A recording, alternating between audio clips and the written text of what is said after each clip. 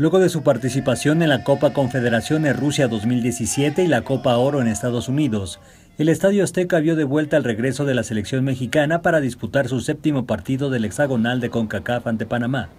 Previo al juego, aficionados tanto de México como de Panamá se dieron cita a las afueras del Coloso de Santa Úrsula, quienes esperan que ambas selecciones tengan un buen desempeño en la recta final de esta competencia.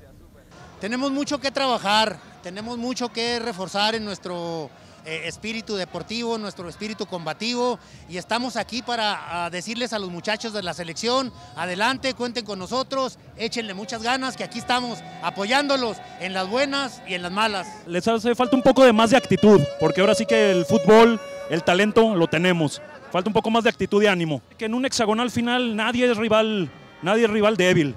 Este, los panameños también están haciendo bien las cosas, por ahí es su primera, puede ser su primera vez de ir al Mundial, entonces nunca hay que darlo por muerto. Ah, bueno, México siempre va a ser un rival fuerte, el más, más grande del área, con CACAF ahora mismo.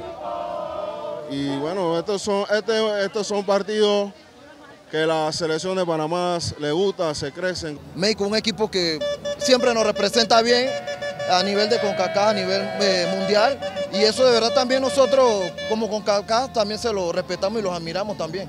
Con un marcador de 1 a 0, el cuadro azteca logró su pase a la justa mundialista de Rusia 2018 y enfrentará su siguiente partido de la eliminatoria ante Costa Rica. Muy contento, muy contento, la verdad, muy feliz y bueno, gracias por la oportunidad a todos. Vamos a seguir Muy, muy bonito. Creo que es una experiencia muy bonita en mi carrera y bueno, vamos a seguir así. No, pues no tenemos que confiarnos, tenemos que hacer un buen partido, y como te digo, tenemos que buscar el primer lugar. Feliz por, por la manera en cómo se dio.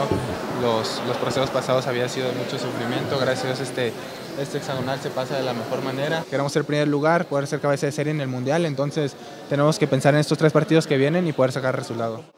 Con información e imágenes de Eric Gómez, Notimex.